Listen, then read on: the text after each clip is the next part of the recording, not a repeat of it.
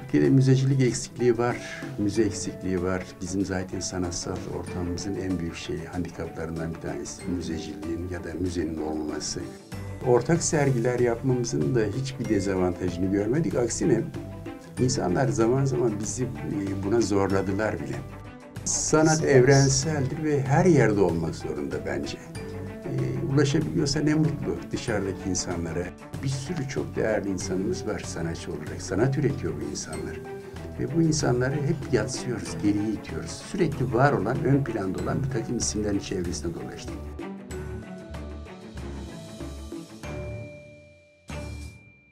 Merhaba sevgili seyirciler, Beyaz Tuval'e hoş geldiniz. Bugün yine o gün e, TV stüdyolarında çok değerli bir konuğu ağırlıyoruz. Konuğumuz ressam Mehmet Çetiner. Hoş geldiniz Hoş programımıza. Ee, size dair çok şey konuşacağız elbette. 1960'da Kahramanmaraş'ta doğmuşsunuz. İlk orta lise eğitiminiz orada geçmiş. E, orada şekillenmişsiniz doğal olarak. Gayet. Ee, nasıl başladı resim serüveniniz? O yıllarda resimle ilgileniyor muydunuz? Etkileyenler oldu mu? Besleyenler oldu mu? Biraz oradan başlayalım sohbetimize. Tabii ben e, Maraş'ın yerli ailesinin bir ferdiyim. E, Dulkadiroğulları derler sülalemize. E, o noktada oranın eşrafından sayılan bir aile. E, ilk orta lise, lise ki Kara Lise diye geçer. E, Türk Edebiyatı'na çok önemli isimleri kazandırmış, önemli bir lise. E, eğitimimi oralarda tamamladım. E, O yıllarda da resim var mıydı? resim vardı. Hatta bizim lisemizde şey sanat tarihi derslerimiz vardı. Ee, ailenin her bir ferdi o lisede eğitim görürken mutlaka o sanat tarihi derslerinden büyük yararlanmıştır. Ee, estetik, plastik değerler olarak pek çok şeyi orada öğrenmiş olduğumuzu düşünüyorum. Bizim kuşak evet onu yaşadı. Şanslıyız o yüzden. Ee, şartlar sanata nasıl yönlendirdi derken tabii oralarda çok genciz daha 15-16 yaşlarında 18 yaşlarında falan Ee, Türkiye'nin ülkenin e, eğitim şartları çerçevesinde sınavlar var üniversite sınavları. Hedef noktamız başka başka yerlerde ama işte tercihlerimizde e, sınavları tutturamayınca işte olabilecek diğer alanlara kayıyorsun. Benimki de o misalden e, üniversite sınavlarında arzuladığım, yeterli olduğunu düşündüğüm, olmayı düşündüğüm yerlere ulaşamayınca işte e, Güzel Sanatlar Akademisi'nin Aklınızda ne vardı? yani şey siyasal bilgileri çok istiyordum. Ee, özellikle diplomat olmayı çok arzuluyordum. Yani hukukçular tarafından çok işte siyasal şeyi kısmı marif falan. O noktada çok değerli şeyler, hayallerim vardı. Olmadı. Ee, sonraki aşamada işte akademinin e, seçme sınavlarına katılma bir anlamda zorunluydu. Başlangıçta ileriki safhalarda belki anlatırım. Ee, çok zorlansam da bu sınavı kazandık. Ee, lise döneminde benim ailemde hemen her şey e, beş kardeşim. Beşimiz de iyi resim yaparız, iyi çizimler yaparız. Ee, babam rahmetli keza iyi çizerdi. Annem bize çok yoğun destek verdi, o bir ev, ev hanımı. Ee, bütün buralarda gelişmeler olduktan sonra akademiye giriş ve girişten sonraki yıllarda yavaş yavaş şeyin e, plastik sanatların nedenli kıymetli olduğu daha da içimize doğmaya başladı. Yoğunlaşmaya başladık. Akademi yıllarında e, işte benim dönemimde 78 kuşağı diyebileceğim eğitim döneminde e, ilk iki sene ya da ilk dört devre temel çizim, temel tasarım eğitimi alıyor. Ondan sonra atölyeler seçimine başlıyorduk. E, ilkin işte rahmetli Özer Kabaş ve benzeri diğer hocaların şeyinde, gözetiminde temel çizim, temel tasarım derslerine girdik. E, tabii çok, akademi o zaman gerçekten çok hoş bir ortamdı. E, öğrenci sayısı olarak da, hoca sayısı olarak da çok yeterliydi ama azdı. O ortamda hep birbirimizi tanıdığımız bir ortamın içinde aile şey kuşağı gibi bir yaşam sürmeye başladık. E, Maraş'tan çıkıp İstanbul bir yere gelmek de çok kolay bir şey değil o, o vakitler. Sene 1978. İlk sene e, eğitimimi durdurmak zorunda kaldım. Çünkü hem siyasal ortam o zamanki Türkiye ortamı. Hem e, bir erkek çocuk olarak İstanbul'da kalacak, barınacak yer bulamamak ya, ya da bulmakta zorlanmaktan dolayı kayıt dondurdum. Tekrar döndüm Maraş'a. Ertesi sene işte e, programımızı tekrar oluşturduk. İşte yeniden sınavlara girdik. Olmadı. Demek ki kaderimizde Güzel Sanatlar Akademisi'ni okumak varmış. İyi ki de öyle olmuş. döndük. Değil mi? Ederim. Ee, umuyorum ki şeyi nihayetinde e, bu yaşamı sürüp bitirdiğimiz zamanda da sanat tarihinde öylesine iyi ki olmuş lafıyla filan karşılaşıp yer edinmiş oluruz. Umarım tabii bütün sanatçıların dileği o. Peki Mimar Sinan'a girdiğiniz, yani o zamanki akademi Akademi. tabii, akademiye girdiğinizde e, hangi atölyeden mezun olduğunuzu ama sizi o- onun dışında da etkileyen hocaları ve e, etkilenme nedenlerinizi de merak ediyoruz. Ben işte temel çizim, temel tasarım e, çalışmalarından sonra bütün öğrenciler gibi mecburi bir platform, atölye seçim şeyi alanı var idi. O alanda hızlıca Dinçer Ermez Atölyesi'ne kayıt yaptırdık. E, tercih noktamız orası oldu. Orada aslında iyi ki de oldu. Çünkü İbrahim Örs gibi, Gökhan Anla, rahmetli gibi çok değerli insanlarla çalışma fırsatı buldum. Dinçer Hoca'nın tabii ki şeyi e, otoriter sanatçı görüşlerinden yararlandık. Ama daha çok ben o atölyeyi takip ederken Adnan Çöker'den, Özdemir Altan'dan, bilhassa Özdemir Altan atölyesinden hatta hatta rahmetli diyorum bu insanların hepsi işte yaşamlarını bitirdiler birçoğu. Ee, Zekai Ormancı'dan çok yararlandım. Çok iyi bir dostluk kurduk. Ee, ondan neredeyse şu an uygulamakta olduğum pek çok şeyi, e, ögeyi, sanatsal ögeyi e, neredeyse öğrenmiş oldum. O hem yaptığı işlerle hem söz, söylemleriyle yol gösterici bir insan oldu benim için. Hem de bir abi kardeş, ahbaplık, dostluk kurulmuş oldu. Güngör Taner'den çok yararlandım. Özdemir Altan'ın özellikle kolaj dönemi benim için çok kıymetli bir dönemdir ve oradan çok yararlandığımı düşünüyorum. Sonradan bu insanlarla yakın hoca, abi, arkadaş ilişkisi kurduğumuz için de çok mutluyum. Çok e, sonuçlar itibariyle güzel şeyler elde Büyük şans tabii ki. Bir dönemin çok kıymetli şahitlerinden Evet. Oluyorsunuz. Evet. Ne kadar önemli. Ee, mezuniyetin ardından da hızlıca gene sanat alanında devam ediyorsunuz Şöyle. ve şanslısınız aslında Evet. değil mi? Önce Deniz Müzesi sonra da e, Resim Heykel Müzesi. Ondan önce aslında şeyler var e, mezuniyetimde. Ben esasında şeyin e, sanattan para kazanmayı hiç düşünmedim. Siz hep yolunuzu bir çevirmek e, şeklinde şansınızı tersine Evet. zorladıkça Zorladık. çok şanslı bir şekilde de kapılar açılmış önünüze. Belki de o da şey, başka bir macera ruhunu ateşliyordu herhalde ya da dinamizmi getiriyordu. Ben e, mezuniyetten hemen sonra e, başka işler yaptım aslında. E, işte vitray sanatçısıyım aynı zamanda. Vitray ürettim. Fuat Acaroğlu'yla Cihat Aral'da.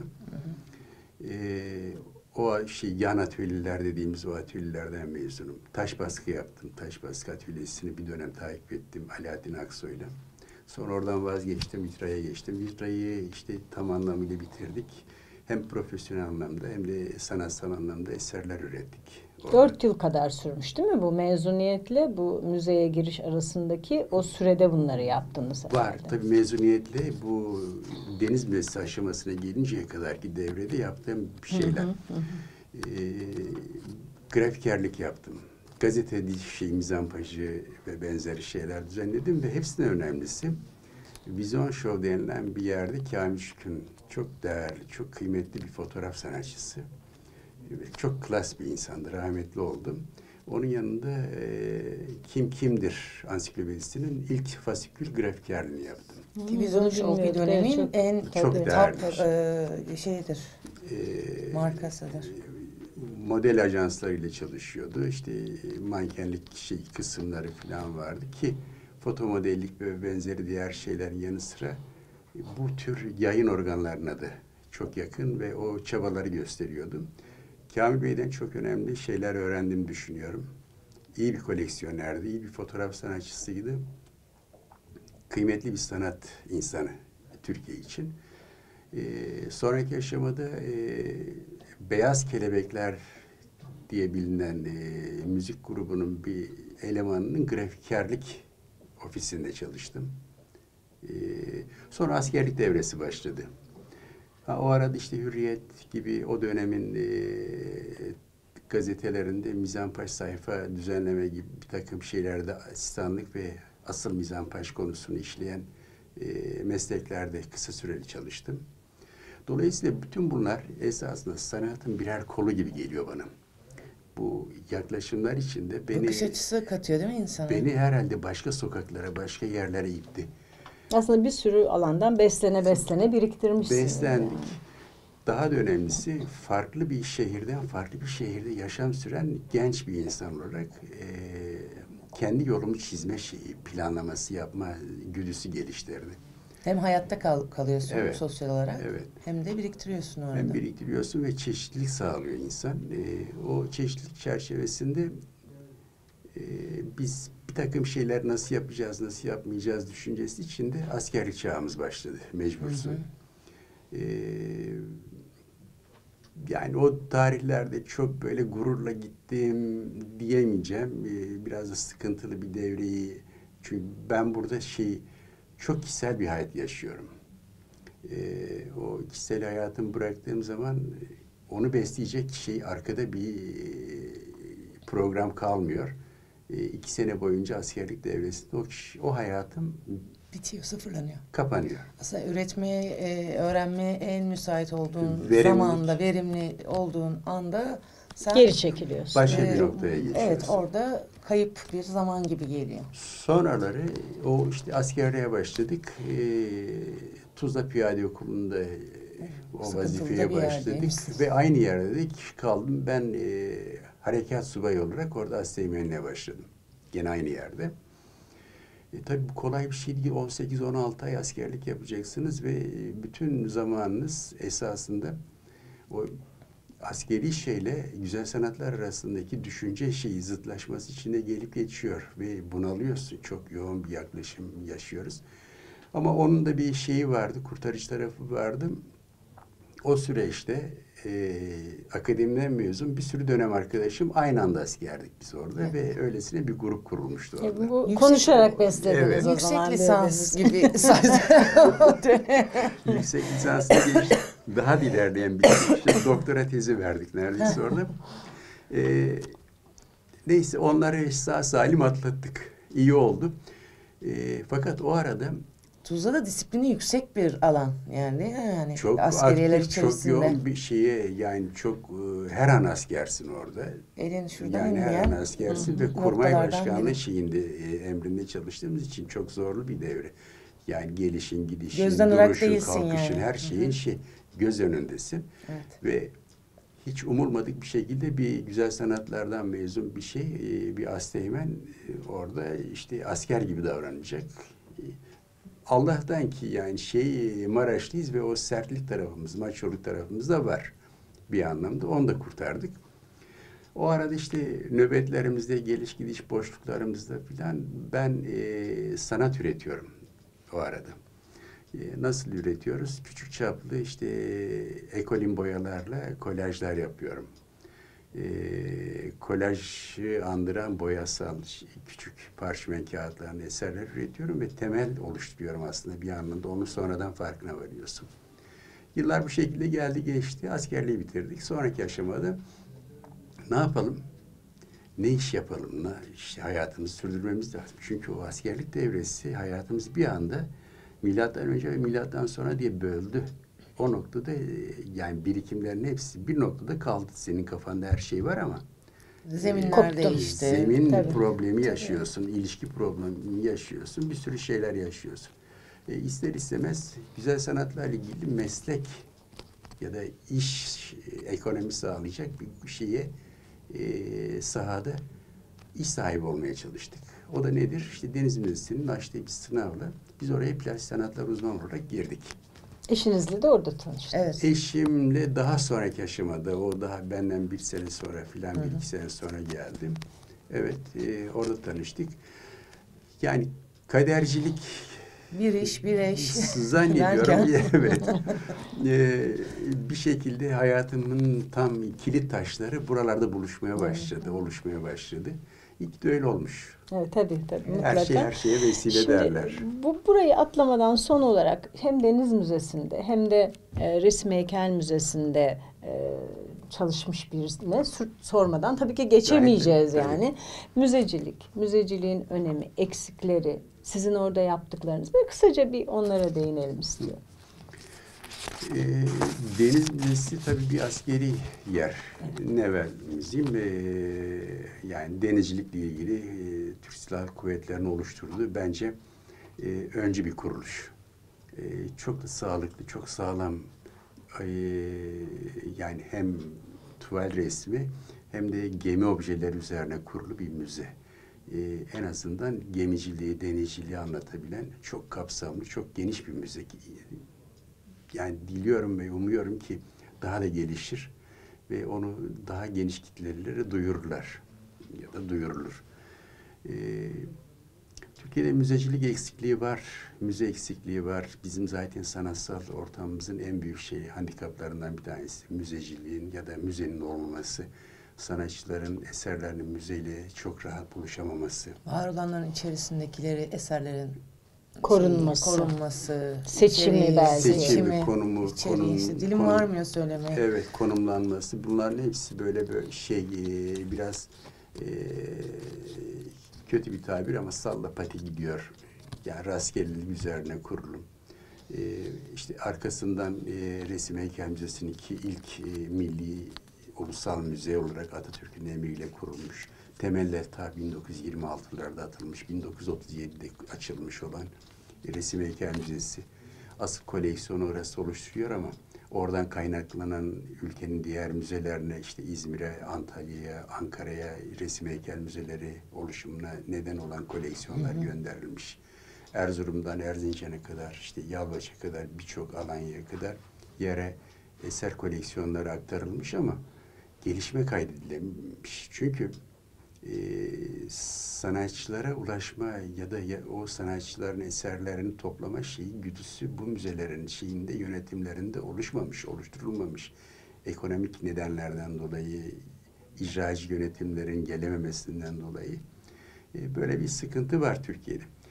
Ama Deniz Müzesi, Deniz Müzesi hali hazırda kendi bir şey sonradan çok şey, sistemi bozmakla birlikte bir işte yarışmalar yöntemiyle eser kazandırmaya çalışıyor ama o, Bahriye, o, o yeterli değil. falan Bahriye ressamlar. değil mi? Ama müzeler konuları şeyinde, çerçevesinde ülkenin tüm sanatçılarına ulaşmak zorunda. Tüm sanatçıların en iyisini ya da en iyi diye nitelenebilecek eserlerini toplamak zorunda.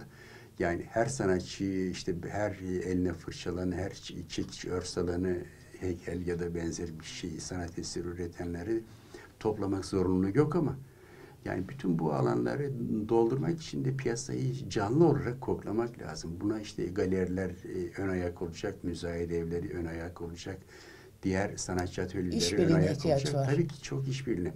E, sanat eleştirmenleri kriter e, yaratacak, onlar bir takım önerilerde bulunacaklar. E, fon e, oluşturulacak. Bu fonlar mutlaka sanatçılara aktarılacak. Devlet, her şeyi devletle falan yapmamamız lazım. Devlet bir şekilde yol gösterecek ve biz onu e, sanatçı ve benzeri diğer yan kimliklerle beraber genişletmemiz lazım. Biraz sanatçılarımıza kabahat var. Biraz sanat e, tarihi eleştiri grubumuzda kabahat var. Galerilerde kabahat var. Yani bunlar tabii kötü anlamda şey değil, bu kabahatler pozitiflik yaratmak için söylüyorum. Ee, Ben bir- müzayede evlerinin biraz daha çok e, ticari amaçtan çıkıp özellikle bu kurumlara aktarım sağlayabilecek öneriler açması lazım. Bunların genişlemesi lazım. Yani böyle kafamda müzelerle ilgili böyle bir soru vardı. Hani hazır sizi yakalamışken yurt dışındaki müzelere gidiyoruz. Yani yurt dışındaki işte ulusal uluslararası müzeler yani bir sanatçıya ait bir müzeden söz etmiyorum. Evet, genel müze. Evet, genel müzelerde yabancı ülkelerden çok fazla sayıda ressamın da eseri var. İşte yani böyle. bizde böyle bir problem var değil mi yani? Var bizde problem var. Biz yerli sanatçıya henüz ulaşmış değiliz. Evet, evet. Yerli sanatçıları seçerken de çok tarafgirli yaklaşıyoruz. Ee, yakınimdir şeyi e, cümlesiyle tanımlayabileceğimiz bu çok klişe bir laf aslında. Artık her sanatçı üretiyor. Çok yoğun bir çalışmanın içinde. Bütün herkes. En hafifinden en yoğun çalışanına kadar. Ama biz belli başlı isimlerin çevresine dadanmışız. O belli başlı isimlerin yani bu her aşamadaki insandan bahsediyorum. Satıcısından, dealerından, koleksiyonerinden, sanatçısından, üreticisinden, eleştirmeninden hatta basın yayın medya kuruluşuna kadar herkes belli isimlerin çev- şeyinde çevresine dolaşıyor. Yeni yetişen başka insanlar ya da yeni yetişen Onlar da gençlikten takılıp kalıyorlar cam tavana çarpıyorlar. Ge- evet, gençlikten bahsetmiyorum. Kendini duyurmakta zorlanan insanlarımız var. Bir sürü çok değerli insanımız var sanatçı olarak. Sanat üretiyor bu insanlar. Ve bu insanları hep yatsıyoruz, geriye itiyoruz. Sürekli var olan, ön planda olan bir takım isimlerin çevresine dolaştık. Neredeyse bizim ilk e, sanatçı, sanat yapımız, e, yıllarımız hep o bildik isimler çevresinde koştu. Halbuki onlarla beraber diğer yan unsurları toplasak alan genişleyecek. Yabancı sanatçı Türkiye'de yer etmiyor ki yok ki hiç. Biz yabancı sanatçıların iyisini getiremiyoruz, kötüsünü bulamıyoruz. Yerli sanatçılarla onları bütünleştiremedik. İşte müze burada gerekli. Müze alışveriş yapacak, müze e, para aktaracak, para iş- e, verecek. Karşı tarafla işte küratörlük anlamında e, etkinlikler düzenleyecek. Bu müzenin ana şey temellerinden. Karşı tarafın da burada olma isteğini de yaratması gerekiyor değil mi? Yaratması Öyle bir lazım. istekleri de olduğunu düşün yani Vardır, var mıdır? vardır. Türkiye büyük bir ülke. Onu tabii ki severek, koşarak gelecekler ama buradaki vereceğiniz avantaj onlara yansıyamıyor. Yok öyle bir E, şey. Kendi sanatçına daha Evet. yansımayan bir şeyin e, oraya e, yansıması zor. Biz birazcık şeyi, müzeciliği galiba şeyde e, Asar Atika yeraltı müzeciliği şeklinde algılıyoruz. Yani arkeoloji müzeleri şeklinde algılıyoruz. Tabii ki onlar başka bir değer. Onlar bizim Bunlar başka bir- Tabii o da olmalı. O başka bir başlık Çok olacak. önemli tabii de. tarihsel anlamıyla filan yeraltı, yerüstü kaynaklarımız bir de bu taşınabilirlik plastik sanatlara özgü olan müzelere kıymeti işte Kültür Bakanlığı verecek. Onu zorlamamız lazım. Ha bu arada yayınların çokluğu lazım. Çok e, sanatçı hakkında çok üretmek e, önemli. Yayınlar da çok olmak zorunda ki o insanı işte kalıcı ve değer olarak ortaya sunmamız lazım. Şimdi hazır bu müze ve eser konusu konuşulurken arada sorayım ben. Yurt içi ve yurt dışı e, sergileriniz ve çeşitli koleksiyonlarda da eserleriniz var. Bir o sizinle olan ilgili bölümü konuşalım. Ben devam edeyim ondan sonra. Koleksiyon anlamında evet. eee, yani bu Türkiye'de yaşayan her sanatçının esasında hedefidir, idealdir diye düşünüyorum. Ben öyle düşünüyorum en azından. Koleksiyonun içine eser koymak en azından Evet. bir yerde kalıcı bir yerin parçası Yani gibi sanat evrenseldir ve her yerde olmak zorunda bence. Ee, ulaşabiliyorsa ne mutlu dışarıdaki insanlara. İşte bu e, aya dahi gitmesi benim için büyük bir gurur, bir onur. Yani bunu becerebilsek keşke. Yani işte insanın gittiği her yerde, insanın var olduğu her yerde o sosyal şeyi kapsamın içinde sanat mutlaka olacak. Sanat çünkü bir insani değer. O o değeri e, günü şenlendirmek, işte zenginleşmek anlamında e, kullanmak lazım. E, bu işte Çekya'da olur, Romanya'da olur, Amerika'da olur, Kanada'da olur, her yerde benim eserimin olmasını arzuluyorum. Bu benim için hedef a, şeydir. Türkiye'de de istiyorum. Evet. Önce burada istiyoruz Evet, aslında. doğru. Şimdi e, eşiniz e, sevgili Zeynep Çetiner de Evet. sanatçı. E, Birçok da ortak sergi açmışsınız. Çok açtı Şimdi evet.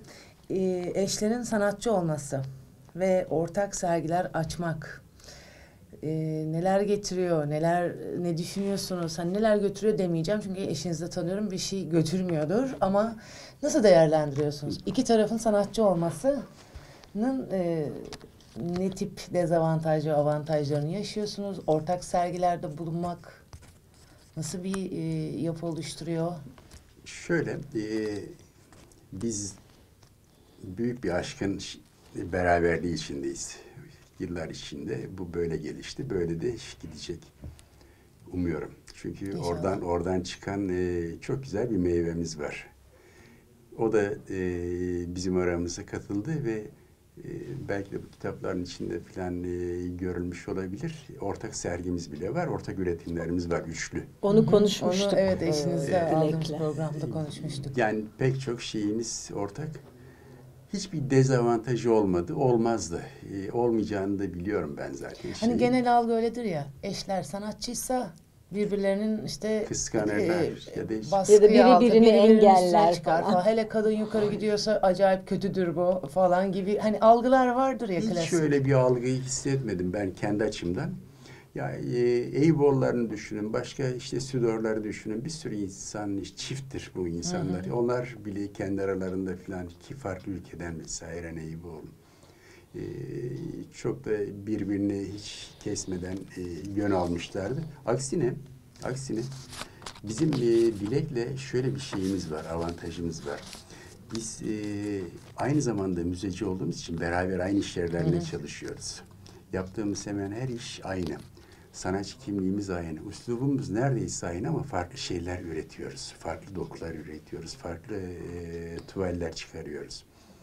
E, onların her biri başka bir avantaja dönüşüyor. E, en başta zaten şey birbirimizi kritize edebilme şeyi, e, yeteneği sağlıyor. E, o kadar birbirimize güveniyoruz ki yaptığımız işleri e, çok e, gönül kırma şeyi sebebi düşünmeden e, çok rahatlıkla en kötüsünden en iyisine kadar her şeyi birbirimize aktarabiliyoruz. O geliştirici bir şey aslında. Büyük çok, şans. Çok büyük şans. Ee, bu çerçevede düşündüğümüzde ben iyi ki meslektaş bir eşim var diye düşünüyorum. Ee, ortak sergiler yapmamızın da hiçbir dezavantajını görmedik. Aksine insanlar zaman zaman bizi e, buna zorladılar bile. Farklı şeyler, sergiler tabii ki çıkardık bir sürü onun yanı sıra. Ama işte toplumumuza her ne hikmetse şey, e, beraberliklerin sonuçlarının ne olduğunu görmek adına Hı hı. Beraber yapılmış olanlar daha ön plana çıkıyor gibi geliyor ki öyle de olması benim için bir mahsuru yok. E, Dilek için de bir mahsuru olduğunu zannetmiyorum. Çok kaliteli, yüksek şeyli e, sanatsal faaliyetlerin içinde beraber bulunuyor veya ayrı ayrı oluyor olmak keyif Güzel. bence ya, bir hoşluk. Dayanışma da Tabii. sağlıyor tabii. birbirine. O dayanışmayı tabii başkaları için e, kötü anlamda kullanmıyoruz hiç. Onları ezmek ya da yok Evet. etmek anlamında falan. Şimdi biz aksine çok verici olmayı düşündük hayatımızda. E, yol gösterici, rehberlik yapmayı çok e, kullandık, değerlendirdik. Onda hiç e, beis görmedik burada bir sakınca duymuyorum. Şimdi e, kendi resim tarzınız hakkında şöyle bir e, söyleminiz var. Benim resimlerim soyutlama değil, soyut resimler. Evet. Şimdi soyut resim ne? Soyutlama ne? Önce bunu bir e, kavramları evet, evet. yerine koyarsak izleyicilerimiz bu herhalde sizin ondan sonra e, bu farkı anlat e, anlattığınızda daha iyi algılayacaklardır diye düşünüyorum. Evet.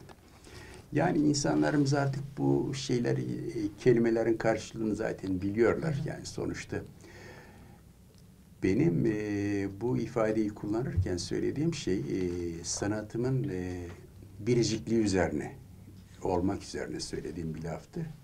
Ya da söylemdir sonuçta. Öyle düşünüyorum. E, soyutlamacılık bir anlamda var olan bir takım şeyleri tabiatta, çevremizde gördüğümüz var olan şeylerin e, işte biraz eğerek, bükerek bir takım şeylerinden e, anımsatarak, ederek. anımsatarak filan e, bir tarafa yansıma şekli diye düşünüyorum. Benim işlerimde ya da benim çalışmalarımda hatta dileğin çalışmalarını da katabiliriz bu noktada.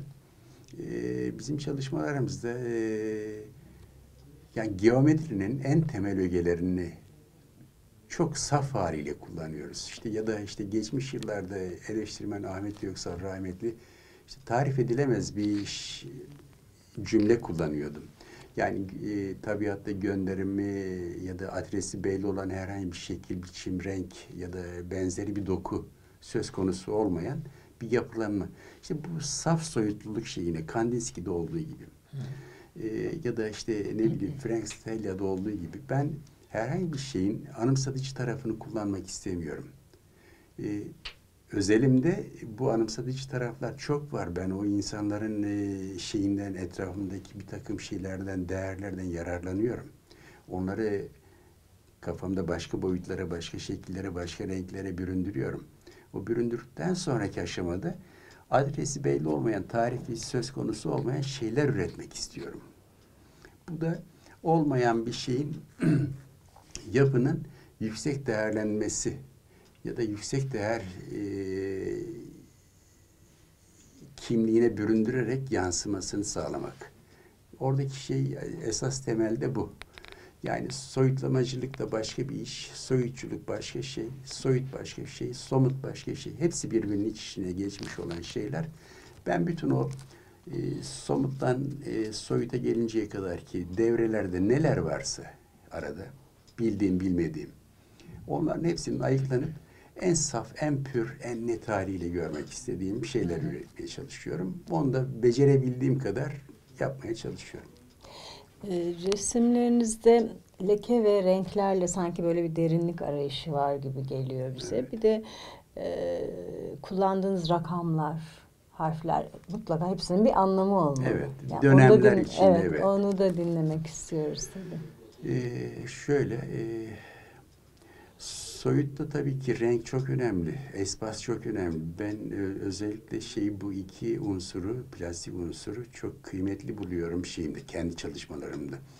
Espassız bir şey düşünemiyorum, derinliksiz bir şey düşünemiyorum. Ee, uslubumu ya da biçimimi oluştururken filan bütün bu değerler ön plana çıkmak zorunda. Espasın, rengin, biçimin, diğer değer yargılarının duygulardan uzaklaştırılmış hale yansımasını istiyorum tabii ki. Bunların da olması gerekiyor. Ee, o bahsettiğiniz rakamlar, e, ona geleceğim. O bir dönemin e, hazırlık devresinde ya da bir serginin sadece ana se- temasını ya da işte konseptini oluştururken e, oluşturduğum e, özellikle çok büyük sevgi ve saygı duyduğum aile çevremin fertlerinin doğum tarihleri. Yani onların madem ki portresini yapamıyorum, doğum tarihleri, tarihleriyle e, geleceğe, tarihe yansısınlar istediğim için onların e, doğdukları bildiğimiz tarihlerini resmin bir parçası, bir sembol şeklinde getirip sonra onu imgeleştirme şeyi yöntemidir. E, zaten soyutun şeyinde temelinde rakamlar, harfler, sayılar, e, işte yazılar filan mutlaka vardır. Özellikle kolaj ya da pop dönemlerinde mutlaka o sayılardan, yazılardan e, kullanmışımdır. O zaman şöyle diyebiliriz diye düşünüyorum ben. Siz figür kullanmıyorsunuz. Evet rakamlar, işte sayılar, geometrik şekiller, renkler, lekeler kullanıyorsunuz. Ama çıkış noktanız aslında insan duyguları. Evet, evet, Değil evet, mi? evet. İnsanın sizde bıraktığı etki, Evet. insanlarla etkileşiminiz olmalı. Evet. Fiziki yapıları kullanmıyorum ki zaman zaman işte o soyutlamacı e, şeyden e, ögeden yararlanarak özellikle kadın bedenini çok seviyorum. O kadın bedeninin e, stilize edilmiş ya da soyutlanmış halini çok küçük çaplı da olsa şey, kimi resimlerimde geçmiş yıllarda kullanmışlığım vardır. Bundan kaçamıyorsun bazen ama e, ben o insan bedenini ya da insanın fiziki yapısını e, resimlerime aktarmıyorum o eğitim yıllar içinde filan aldığımız e, aşamalardan sonra artık profesyonel şey, sanat ve sanatçılık şeyinde, üretimlerinde onu kullanmamaya çalışıyordum. E, zaten yaptığım işin e, şeyi, e, kanunu bu. Ama figür deyince Türkçe'de e, sadece insani ögeden bahsetmemek lazım. Aslında bizim şey, kendi soyutumuzda da kullandığımız her bir malzeme aslında bir figür bir yapısal figür. Ee, insanı kullanmıyorum fakat insandan yola çıkarak onun sevgisini kullanıyorum. Ona duyduğum duygusal e, bağı kullanıyorum. Ee, yine burada aranot olarak düşmem gerekir. Ee, ürettiğimiz işlerde ya da ürettiğim işlerde bir hikaye, bir alıntılama ya da bir ona hikaye bindirme diye bir şey yok. S- e, izleyen kişi onları Kendi his- hikayesini. Kendi şeyini e, dünyasıyla bağdaştırdığı oranda hikayesini kendisi yazsın. Bendeki şey e, özeli o başka. Ben onun içinde bambaşka şeyler en kötü duygulardan en iyi duygulara kadar pek çok şeyi yükleyebilirim onun içine. E, ruhumda kötülüğü de yansıtırım, iyiyi de yansıtırım ama o bende. Bende sadece bende var. Dolayısıyla figürü, insani yapıyı ya da hayvani canlı yapıyı e, şey eserlerimde pek kullanmak istemiyorum. Pek değil hiç kullanmak. Kullanırsam zaten olayım bozulacak, yapım Peki, bozulacak. Şimdi şeyi anlattık bu e, süzme evreniz var e, bilgiyi topladığınız doneleri işte temel taşları konuştuk. Şimdi resim için nerelerden besleniyorsunuz ve e, bu aşamaları süzmeler işte bitti kendi içinizdeki o e, objeleri seçtiniz vesaire nasıl çalışmaya başlıyorsunuz eskizler mi üretiyorsunuz e, tuvale geçince orada mı yol almaya başlıyorsunuz yani bu e, üretimi teknik anlamda geçiş safhanızı dinleyelim bir de. Bu da çok Şöyle, önemli bir e, Çok şey. kapsamlı bir Evet. soru aslında. Yani şeyin 30-35 yıllık geçmişi bir anlamda özetlermiş gibi olacağız ama dönemler dönemler e, bu yaklaşımlara farklı şeyler, eğilimler gösterdik tabii. Ben e, klasik resim çiziyormuş gibi herhangi bir şeyin eskizini yapmam. Hiç çalışmıyorum. Daha doğrusu şöyle. Kafanda şu son ama hani noktadaki e, eskiz olarak oturup bir çalışma yapmıyorsun. Şöyle, e, şu noktadan geriye doğru baktığımda e, ben bütün şeyi, konsepti kafada belirliyorum aslında. Bitiyor her türlü iş. İşte belki daha önceki röportajlarımda çok dile getirmişliğim vardır. E, sayısal olarak da e, beni tatmin edecek bir sayıyı e, bet, şeyi işaretledikten sonra bütün o işte 15, 20, 30 neyse yapabileceğim, üretebileceğim şey sayı dedi. Orada tümüyle kafada bitmiş oluyor. Benim oradaki şeyim etüt aşamalarında çok basit yani. Yani şeyin küçük bir not kağıdına çizdiğim, karaladığım e, işte geometrik bir iki şekli aslında kafamda tam anlamıyla bitmiş bir tuval resmi olarak görüyorum ben onu orada. Ee, en önemli şeylerden birinci şeyi, çalışma şeyi, tekniğim bu. Öbürü renkleri çok seviyorum. Renklerle beraber işte başlayan tuvalde hiçbir zaman ilerlemem. Tuvalde çok küçük atraksiyonlar falan çıkar. Yolunuz O- değişmez o- yani. Başladığınız, karar verdiğiniz Kesindir şekilde o biter. şey. Evet. Çizimi yapmışımdır. Yani tuvale şöyle e, bir e, kurşun kalemi da benzeri bir malzemeyle filan izini yapmışımdır. E, geometrisini oluşturmuşumdur. Matematiksel e, planlamaları yerine geçmiştir. O noktadan sonra o şey kapalı ya da açık formların boyanması vardır.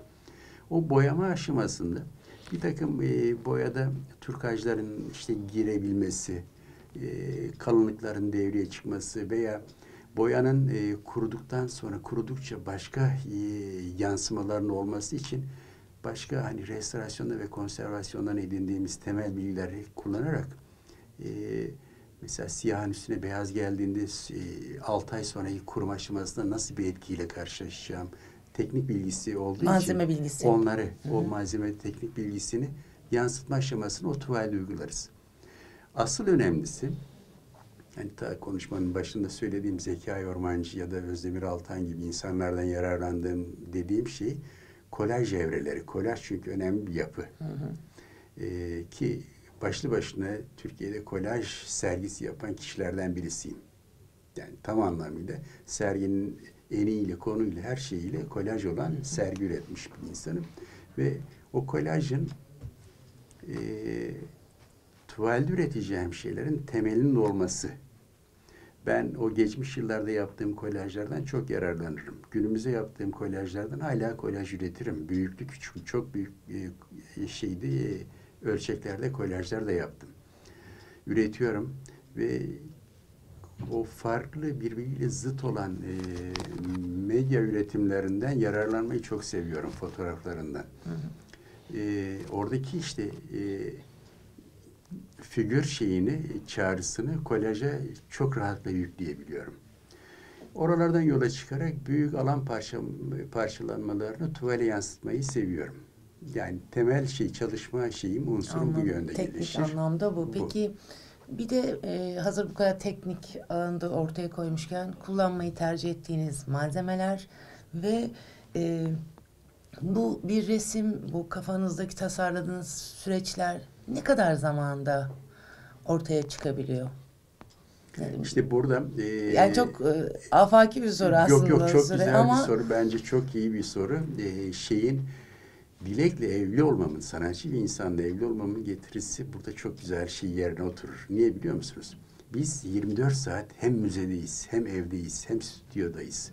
Ee, sahip olduğumuz atölyelerde ya da depolarda her an beraberiz ve her an sanatla beraberiz. Yani Güzel. sanatla karı koca gibiyiz aslında.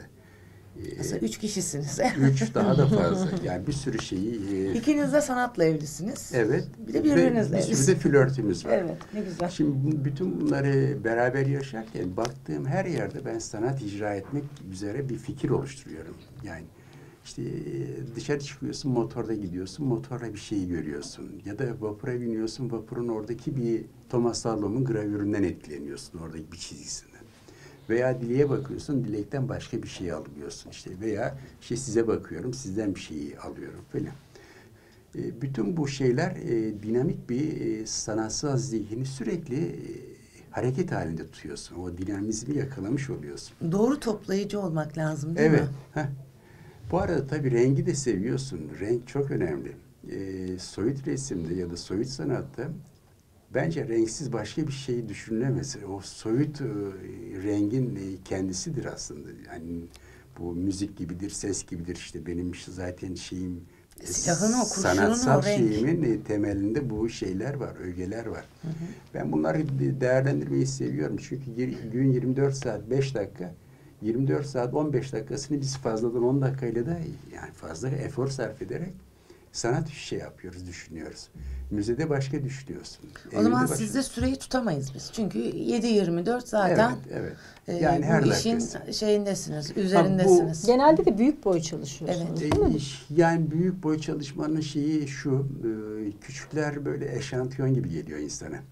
Büyük boy e, kendini çok rahat hissettiği Daha bir alan. alan özgür değil mi? Evet. Sınırlar yokmuş gibi. Soyutun zaten kendisi orada var oluyor. İşte nitekim dün açılan fuarda bir e, Bedrami vardı. Evet, işte evet. 10 parça. İnanılmaz on parça. güzeldi. Şimdi o resmi, mesela o çalışmayı küçük bir eser olarak düşünün. 10 santime 20 santim Onu da beğenecektik düşünün. ama Onu böyle bak beğenirsin. bak bak ne güzel. Ama bu kadar e, etki Evet, alanı evet, yaratmayacaktı. Tabii. Oradaki 10 metrelik olan şey 3 metrelik, 4 metrelik yükseklik çok değerli. O şeyi, kıymeti, o alanları ayrı ayrı santim santim değerlendirebilmek çok önemli. Büyük resim çalışıyor olmak. Bir kere kendini çok özgür hissediyorsun. Çok yani soyut eser üretir, üretirken biraz vahşi olmak lazım, biraz yabani olmak lazım diye düşünüyorum. Yani onu e, şöyle baktığın zaman şey tip olarak filan e, pek o vahşiliği görmez insan filan. Ama resimle alışverişte İşte o iç bünye evet kavga öyle? hızlanıyor. Sen benden ne alacaksın ben sana ne Yani vereceğim ne yapacağım. çok kolay bir şey değil o. Yani her insan e, ben böyle düşünüyorum. Biz tahmin ettiğim, tanıdığım insanlarda o şeyi, dövüş, kavgayı ya da işte zıtlaşmayı yaşıyordur. Hepimiz. Sanatçılar zaten gibi. orada herhalde bu kavgayı, o içsel e, şeyleri, tartışmaları falan tüketme şansına sahip olduğu için dışarıda biraz daha relakse, düzgün veya sakin durabiliyorlar. Evet. Orada bir biz kendimizi nötrlüyoruz çünkü. Kavga tuvalle. Şimdi- e, resimle ilgili konuşmaların üstüne ben e, sizden özellikle bir şey dinlemek istiyoruz. Evet bununla ilgili herkesin bir fikri olabilir ama siz hem sanatçı hem müze yöneticiliğinden olarak yani sizin söyleyeceğiniz söz işinde hani e, teyit olarak sahibi olduğunuz için önemli olduğunu düşünüyorum. Türkiye'deki sanat ortamını işte sanat piyasasıyla ilgili değerlendirmeleriniz nasıl olur? Çünkü siz Yani bunu bu işin farklı bir mutfağına da Evet. e, evet. haizsiniz. Evet. Dolayısıyla sizden gelecek tespitler hani dıştan bir sanatçının veya bir sanatla ilgilenin bakış açısından biraz daha e, farklı donelere sahip olabilir. Ben de hatta bunu destekleyen işte sanatçı, galerici, sanatsever ayağı açısından da düşünüp değerlendirin evet, tabii, diye tabii. soruyu ekleyeyim Evet. işine. Şimdi deminden beri zaten benzer şeyleri konuşuyoruz. Evet, yani Türkiye'nin, ülkemizin e, bir Orta Doğu ülkesi şeyi fakirliği içindeyiz. Yani sonuçta o vurdum duymazlık her noktada hissediliyor. Ama zaman içinde öyle kurumlar oluşturmuşuz ki aslında Türkiye Cumhuriyeti şeyinde bünyesinde e, yani gelişmeye her an her şekilde müsait olması gereken pardon e, işte örneğin resim heykel müzeleri ya da işte deniz müzesi veya diğer e, tarihsel arkeolojik müzeler gibi her şehrin bir arkeoloji müzesi var. Fakat o arkeoloji müzesinden haberdar olan e, halk hiç yok neredeyse. Yani ancak müsaade- İçeriği ne durumda? e, öğrenci müsamere öğrenci çocuklarına filan işte e, senede bir defa etkinlik amacıyla gittikleri yer haline dönüştürülüyor. O da sosyal etkinlik Sosyal amacıyla. etkinlik. Luna Park'a gider, evet. bir Luna oraya Park, gidip evet. işte oraya gitmiş gibi. Veya işte yerli mal haftası kutlamak gibi bir şeyi oluşturmuşuz. Halbuki oradaki içerikte ne kadar kıymetli, ne kadar e, evrensel şeylerin olduğunu, bu insanlar, e, o sanatçı gruplar ya da o tarihsel insanlar bu işleri yaparken niye amaçlılar, niçin yaptılar, niye yaptılar filan gibi bir sürü soruyu orada oluşturulması lazım, hissettirilmesi lazım, duyumsanması lazım. Biraz e, o duygusal tarafını filan göz ardı ediyoruz. Biz sadece işte orada bir müze var. İşte var mı var. İşte öyle bir noktada duruyoruz. E, hani demin de söyledim ya şeyin e, sanatçı, şeyi, müzayedeci, galerici, sanat eleştirmeni olan e, her kesim alıcı. İlla herkesin koleksiyoner olması şart değil. Sevicinin olması lazım. Seven insanın olması lazım. Bu işe yatırım yapmak isteyen, illa parasal yatırım yapmak değil, destek vermek isteyen insanların olması lazım.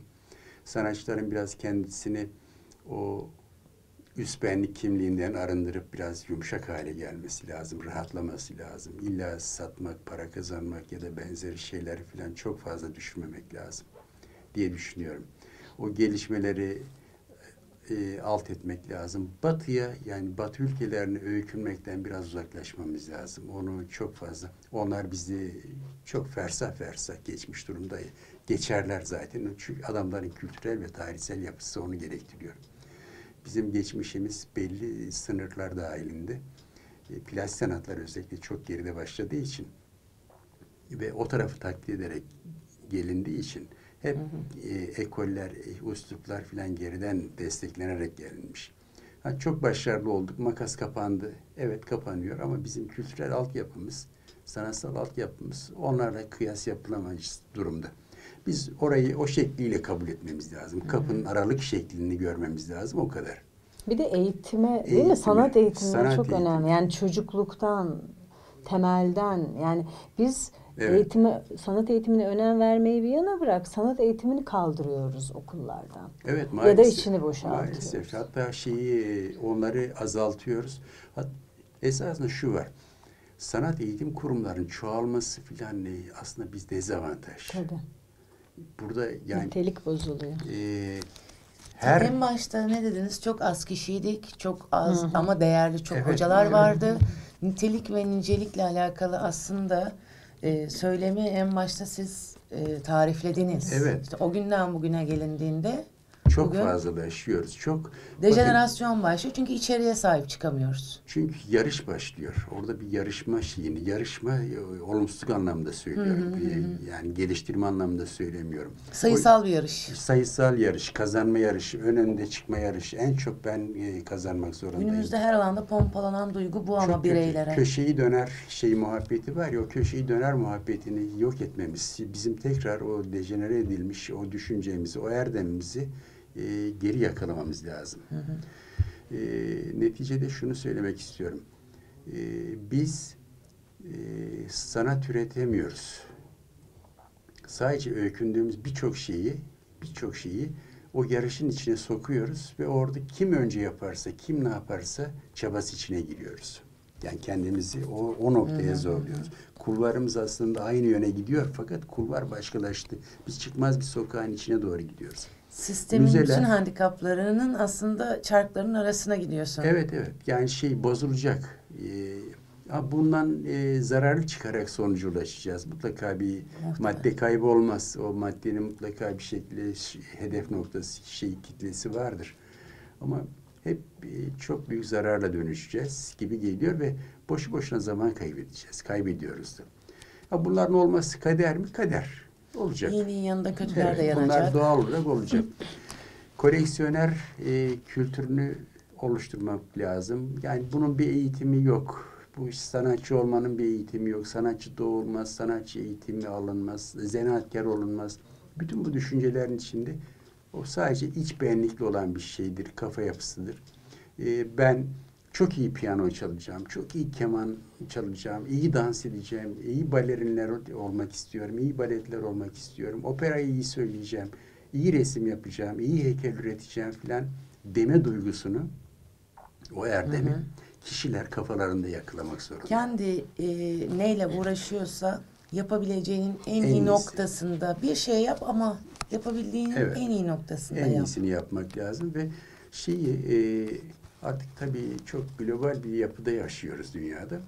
E, bir tarafta bir virüs salgın oluyor, her tarafı kapatıyor. Bu da o benzer çerçevede herkes gibi e, her şeyden haberdar olacağız. Kendimize en yakın, en sağlıklı e, düşünceyi ya da doktrini alacağız. E, biraz kendi hamurumuzda yoğuracağız. Bakın geçmiş yıllarda bizi yanıltan şeylerden bir tanesi bence çok geleneksel kimlik içinde kalmayı, çok özgünleşmeyi olarak şey yaptık, değerlendirdik. Aslında o yapı bizi hep geride tuttu. Hani yok Picasso bizim desenlerimizden yararlandı, biz işte hala kendi desenlerimizi yapmıyoruz düşüncesinden çıkmamız lazım. O yapmış, o görmüş. Ben onu o şekilde görmüyorum, değerlendiremiyorum. O değerlendirme kültürünü benim o batıyla e, hem fikir ya da hem zeminde olmamız anlamında bir kültürel yapıya dönüştürmemiz lazım. o noktada ha, müzelerimizin çoğalması lazım. Evet, nitelikli, kaliteli müzelerimizin çoğalması lazım. Çok şükür. Yani eskiden Resim Heykel Müzesi'nin yanında olan şeyler vardı. Sadece o çevrede dolaşırdık. Ama şimdi bir sürü özel müzeler kuruldu ve o özel müzelerde e, yaşanan diğer şeyler hani olumsuzluklar şahıs seçmek ya da sanatçı değerlendirmesini işte kendi yakını çevresine yaymak gibi o olumsuzluklardan çıktığı anda ki şu anki bile çok başarılı. Bunun isimlerini saymaya gerek yok. O var olan müzeleri herkes biliyor. Gerek İslam'da gerek İslam dışında. Her yerde çoğaltmamız lazım ve o çoğalmanın içinde üretim yapan her sanatçının mutlaka mutlaka şey, bir şekilde değer görüp oraya yerleşmesi lazım, girilmesi lazım. İlla teşhir edilmesi, illa sergilenmesi şart değil. Deposunda, envanterine girmesi lazım. Peki Bu müzelerde belgeler yeterli mi? Arşiv çalışmaları yeterli mi? Bir de öyle bir yeterli sorun değil, var. yeterli değil. Hiçbir şekilde Veya yeterli. var Çünkü olanlar ne kadar e, Evet, Doğru tutulmuş. evet. doğru tutuluyor. Ya da Çok- korunmuş. çok sağlıklı olduğunu zannetmiyorum ama var olan şeyler e, gün be gün tabii e, çok değerli arşivist e, gençler yetişiyor üniversitelerden. Bunları değerlendirmek lazım. Sanat tarihi grubunu arşiv ve arşivcilik, kütüphanecilik noktasına yönlendirmek lazım. Yani aslında Araştır- arşiv sanatın bir parçası olmalı değil mi? Yani bu çok önemli. Arşivci. Besleyici Bellek, kaynağı. evet. Bellek olmalı, besleyici kaynağı olmalı. Geçmişi araştıran insanın mutlaka oraya girip çıkması Evet. lazım ki Günümüzü ayrıca anla- yani tam manasıyla doğru yere koyabilmek için bir kere ona e, İhtiyaç. haiz olması Tabii gerekiyor. tabii. Ee, bütün bunları yapabilmek için de yani esasında müzeler e, sadece iki tane eserin işte bir yere konup e, teşhir ediliyor olması değil. Onun yönetimsel şey boyutu var, onun ekonomik boyutu var, Tabii onun ki. idaresel boyutu var, onun e, koleksiyon boyutu var. O koleksiyon boyutunun içinde gruplandırmalar var, işte var o bir sürü var. Yani mirası Çoğaltmak doğru ve e, genişletmek. to- Yönet- şey yapmak lazım, Yönetmek, tutmak lazım. evet. Evet. Şimdi e, hazır bu müzeler vesairelerle e, ilerlerken şimdi son olarak da bu çalışmalar, müzeler, fuarlar, biyaneller bir yan etrafımızda işte birlikte de e, bulunduğumuz alanlarda görüyoruz, gözlemliyoruz. Siz ne düşünüyorsunuz? Bir de bu çalıştaylar. Çalıştaylar. Çok artan son zamanlarda. Yani bir şeyler yapılıyor, adı Biyanel oluyor. Kavramların çok boşaltıldığı noktalara da rastlıyoruz.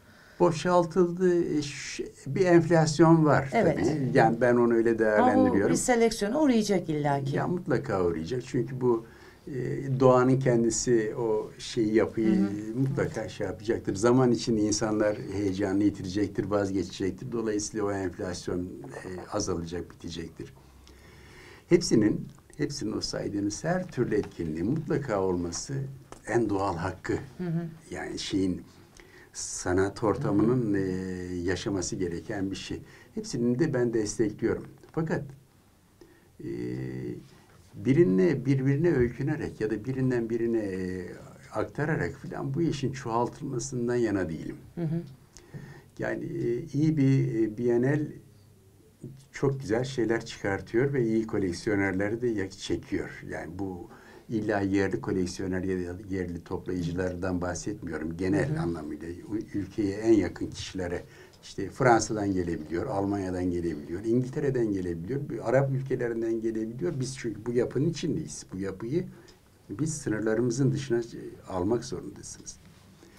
E, müzayedelerin olması lazım. Galerilerin çoğalması lazım derken ben o çoğalmayı kalite anlamında çoğalmak Nitelikli çoğalma. istiyorum.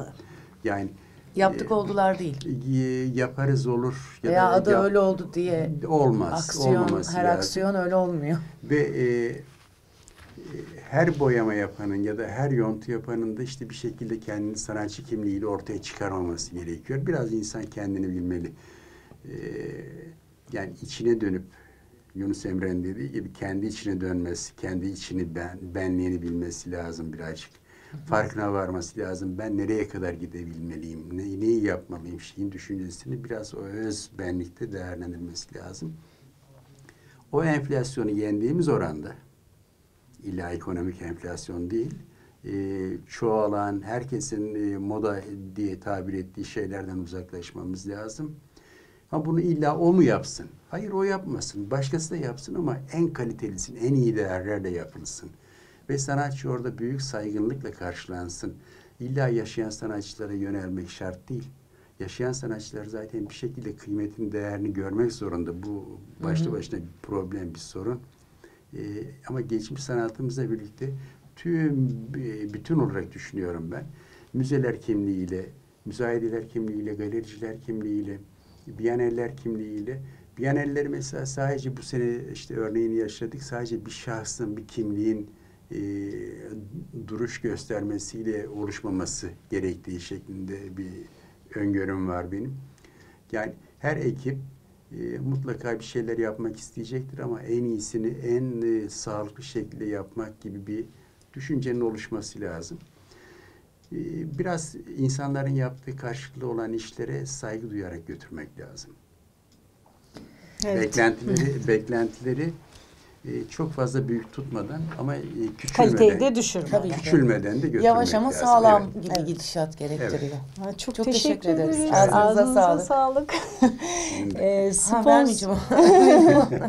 sponsorumuz Ponart'ın size bir eskiz defteri armağanı Teşekkür ederim. var. Bir de Berak Her hafta Haber'den çalışmakla beraber bir başaramıyorum. kalem Aa, ne kadar güzel. setimiz var. Çok da sayıda. Bunlar çok çizim Farklı- yapılır. Evet. Farklı Teşekkür farklı. ederiz. Keyifle üretim. Evet. Bonart'a teşekkür Çok ediyoruz. teşekkür ederiz biz Biz de ağzınıza ederiz. sağlık. Evet sevgili seyirciler bugün de bir programımızın sonuna geldik. Program sponsorumuz Ponart'a, O Gün TV yayın ve çekim ekibine çok teşekkür ediyoruz. Hoşça kalın, sanatla, sevgiyle kalın. Hoşçakalın. Hoşçakalın. Thank